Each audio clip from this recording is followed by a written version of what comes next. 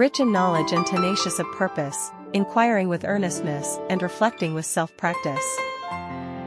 Good morning, today is Tuesday, May 21st, 2024. Today in history, on this day 164 years ago, Dutch medical scientist Willem Einthoven was born. He invented the earliest electrocardiogram ECG measurement device in 1903, a significant advancement for which he won the Nobel Prize in Physiology or Medicine in 1924.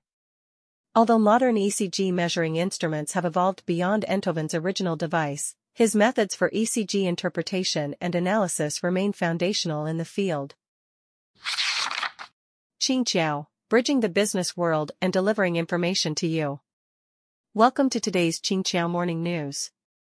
Let's start with political updates.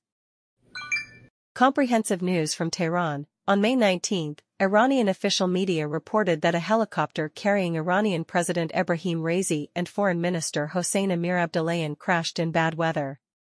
The accident occurred in the Dizmar Mountains, near the town of Varzajan. Both President Raisi and Foreign Minister Abdollahian have been confirmed dead. The incident occurred as the president's helicopter fleet, comprising three helicopters, was traveling from Khoda Afarin County to Tabriz to attend the inauguration ceremony of a petrochemical complex. Earlier in the day, President Raisi and Azerbaijani President Ilham Aliyev inaugurated a reservoir dam in Khoda Afarin County. President Raisi, born in 1960 in the holy city of Mashhad in northeastern Iran, has had a long career in the judiciary. After the 1979 Islamic Revolution, he was appointed Prosecutor General of Karaj at the age of 20. He served as Prosecutor General of Tehran from 1989 to 1994 and was Deputy Director of the Judiciary for 10 years, starting in 2004. Raisi was the country's Attorney General in 2014 and succeeded the moderate Hassan Rouhani as President of Iran in June 2021. Vietnam nominates Public Security Minister To Lam as president. On May 18, the Central Committee of the Communist Party of Vietnam made key recommendations. They suggested 66-year-old To Lam for president. They also proposed Tran Thanh Man as chairman of the National Assembly. The National Assembly is expected to approve these appointments this week. Many believe To Lam's appointment could lead to him becoming General Secretary. Former President Vo Van Thuong resigned in March after one year in office. The government said he violated party rules but did not give specifics. Last month, former National Assembly Chairman Vuong Dinh Hue also stepped down.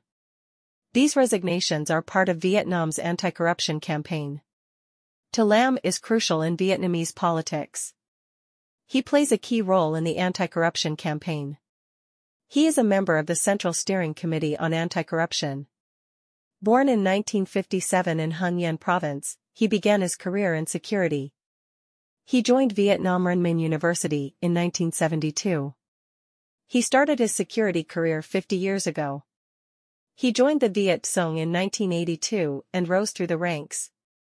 He has served two terms on the Politburo. In 2016, he became the Minister of Public Security.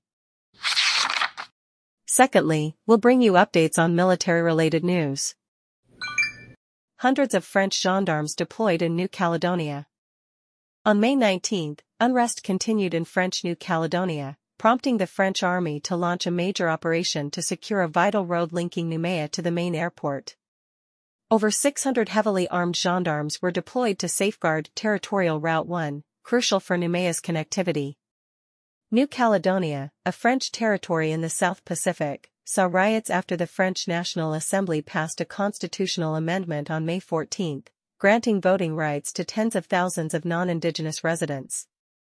Protests led to arson, damaging vehicles, shops, and public buildings. Pro-independence groups blocked access to Tontouta International Airport in Nouméa. President Emmanuel Macron has been in communication with both pro-independence and anti-independence officials since May 8. However, peace negotiations remain challenging amidst the unrest. Israeli troops kill over 130 Palestinian militants in Rafah. On May 18, the Israel Defense Forces, IDF, reported targeting Palestinian armed groups and infrastructure in specific areas east of Rafah. The Givati Infantry Brigade and the 401st Armored Brigade conducted operations, resulting in over 130 armed personnel casualties and the seizure of weapons. The IDF dismantled tunnel shafts and destroyed weapons production facilities and rocket launch sites. Rafah, bordering Egypt, serves as a key entry point for humanitarian aid to Gaza. Over 1.2 million Palestinian civilians seek refuge there. Recent reports indicate Israeli troops and tanks entering crowded parts of northern Gaza, causing casualties. This marks a departure from past practices of avoiding such areas for over seven months. Now, let's turn our attention to the latest economic news. Buenos Aires subway fares surged by 360%. On May 16, an Argentine judge lifted a temporary order blocking a planned subway fare increase in Buenos Aires. The one-way fare more than tripled, soaring from 125 pesos to 574 pesos. This exacerbates Argentina's cost of living crisis, with subway fares rising for the third time this year. In December, the fare was only 80 pesos, marking a 360% increase. President Milei's free market experiment, initiated in December, aimed to rebuild Argentina's credibility with foreign investors by cutting public expenditures, including subsidies to state-owned enterprises. However, these deregulation and austerity measures led to a short-term spike in inflation. Argentina's current inflation rate stands at 289%, one of the highest globally, plunging the economy into recession and making life harder for ordinary citizens. Now, here is some important safety information. Floods claimed 50 lives in western Afghanistan. On May 18, heavy rains triggered devastating floods in Ghor province, western Afghanistan, claiming the lives of at least 50 people and leaving 10 others missing.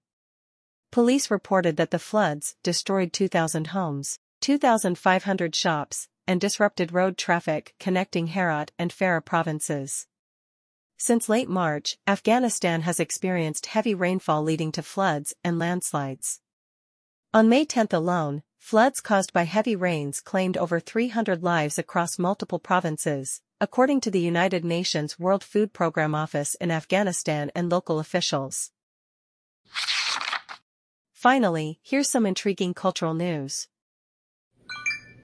Thailand installs satellite locators for sea turtle conservation.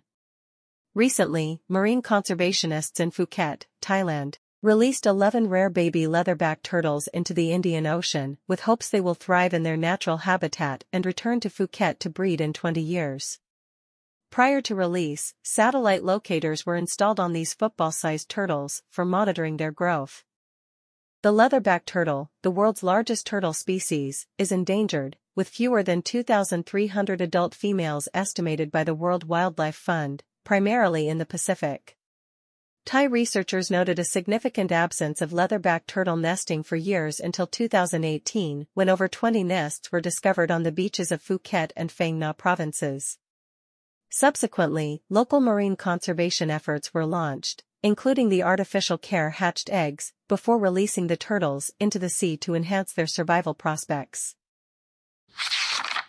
Financial Newsletter Recently, COMEX gold surged by 1.44% to reach 2,419 US dollars and 80 cents per ounce, while London gold was trading at 2,414 US dollars and 50 cents per ounce, marking a 1.61% increase.